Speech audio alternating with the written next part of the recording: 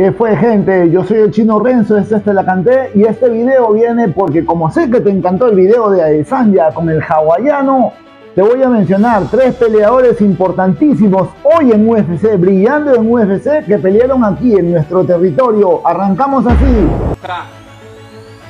Y ese era el reto que lanzaba Johnny Walker por allá por el 2015 a nuestro compatriota Andrew, el hawaiano Smith, con quien se enfrentaría justamente en el PFC. Hoy Johnny Walker es número 7 en UFC en su categoría. Y sí, pues necesitó de tres rounds, tres rounds donde estuvo siempre al borde del knockout y se impuso nuestro compatriota. Llega ahora Joanderson Brito, el tubarao, quien se enfrentó aquí en Perú pues a Johnny Iwasaki, al cual le quitó, le arrebató el cinturón de los ligeros del FFC y posteriormente también a José Saraus, en, una, en un triunfo también categórico del peleador brasileño que hoy está a punto de rankearse en los pesos pluma del UFC.